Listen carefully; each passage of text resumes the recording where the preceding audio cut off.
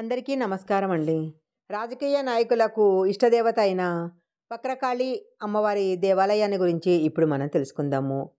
ఈ దేవాలయము తమిళనాడులో విల్లాపురం జిల్లా తిరువక్కేర్ అనే గ్రామంలో ఉంది. ఈ గ్రామము చాలా చిన్న ఊరు. ఇక్కడ ఉన్న చంద్రమౌళేశ్వరిని ఆలయము చాలా ప్రసిద్ధమైంది. ఈ ఆలయ చరిత్ర ఏంటో ఇంతగా ప్రసిద్ధమవ్వటానికి కారణం ఏంటో ఇప్పుడు మనం ఈ వీడియోలో తెలుసుకుందాము. ఈ ఆలయము రెండు వేల సంవత్సరాల క్రితమే ఏర్పడినట్లు తెలుస్తుంది. తమిళనాడులో ప్రముఖ శైవభక్తులైన నయనార్లు రాసిన రచనలలో ఈ స్వామివారి గురించి ప్రసక్తి కనిపిస్తుంది. వైష్ణవులకు నూట ఎనిమిది దివ్య దేశాలు ఎలా ఉంటాయో నయనార్ల పద్యాలను అనుసరించి శైవులు రెండు వందల డెబ్భై ఐదు పుణ్యక్షేత్రాలు ఉన్నాయి. వీటిని పాడల్ పెట్ర స్థలం అంటారు. అలాంటి వాటిలో తరువక్కైర్ ఆలయము కూడా ఒకటి. ఈ ఆలయాన్ని తొమ్మిదవ శతాబ్దంలో ఆదిత్యుడనే చోళరాజు నిర్మించినట్లు తెలుస్తుంది. ఏడంతస్తుల రాజగోపురంతో విశాలమైన ఆలయంలో ప్రతి అడుగున కూడా ఏదో ఒక ప్రత్యేకత కనిపిస్తూనే ఉంటుంది. ఇక్కడ స్వామివారి లింగము త్రిమూర్తుల రూపంలో ఉంటుంది.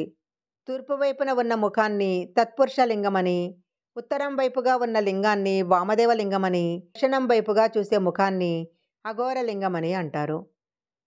ఇక్కడ ఆలయంలోని చంద్రమౌళీశ్వరుని దర్శించుకోవటము ఒక అద్భుతమైతే ఈ ఆలయంలో విష్ణుమూర్తికి కాళికాదేవికి కూడా ఉపాలయాలు ఉండటం మరొక విశేషము. ఒకప్పుడు వక్రాసురుడనే రాక్షసుడు ముల్లోకాలను పీడిస్తూ ఉంటాడు. కానీ ఆ రాక్షసుడు శివభక్తుడు కావటంతో అతనిని తను వధించలేనని విష్ణుమూర్తినే వెళ్ళి అర్థించమని పరమేశ్వరుడు చెప్తాడు.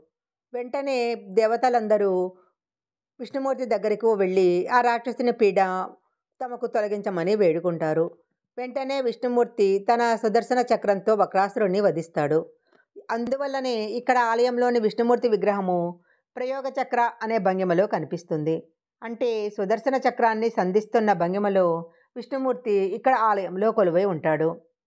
విష్ణుమూర్తి వక్రాసురుణ్ణి వధించే సమయంలో ఆ రాక్షసుని నెత్తురు నేల మీద పడినప్పుడల్లా ప్రతి రక్తపు బొట్టు నుంచి వేల మంది రాక్షసులు పుట్టుకురాసాగారట దానితో వక్రాసురుని రక్తం నేల మీద పడకుండా కాళికాదేవి అమ్మవారు అక్కడికి వచ్చి ఆ రక్తాన్ని తన నోటితో పట్టుకుంటారు.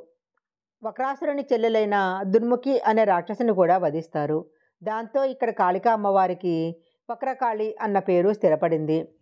ఈ వక్రకాళి అమ్మవారి ఉగ్రతత్వాన్ని శాంతింపజేసేందుకు ఆదిశంకరాచార్యుల వారు అమ్మవారి కాలి కింద శ్రీచక్రాన్ని ప్రతిష్ఠించారని చెప్తారు.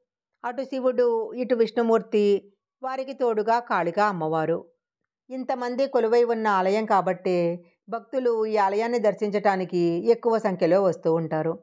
శివరాత్రి విజయదశమి కార్తీక పౌర్ణమి చైత్ర పౌర్ణమి వంటి సందర్భాలలో అయితే దేవాలయము వేల మంది భక్తులతో కిటకిటలాడిపోతుంది. ఇక్కడ వక్రకాళి అమ్మవారిని దర్శించటానికి వచ్చే భక్తులకైతే లెక్కే ఉండదు. శని వక్రదశలో ఉన్నప్పుడు ఈ అమ్మవారిని కనుక కొలిస్తే ఉపశమనం లభిస్తుందని చెప్తారు. ఈ అమ్మవారి ఆశీస్సులు కనుక ఉన్నట్లయితే ఎలాంటి శత్రువునైనా జయించవచ్చునని ఎలాంటి ఆపదనైనా దాటవచ్చని తమిళనాడులో ఎక్కువ మంది నమ్ముతుంటారు. అందుకే రాజకీయ నాయకులు ఇక్కడికి తరచుగా వస్తూ ఉంటారు.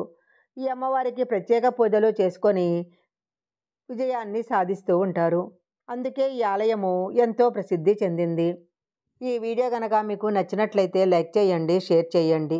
ఇలాంటి మరిన్ని వీడియోల కోసం మా ఛానల్ సబ్స్క్రైబ్ చేసుకోండి.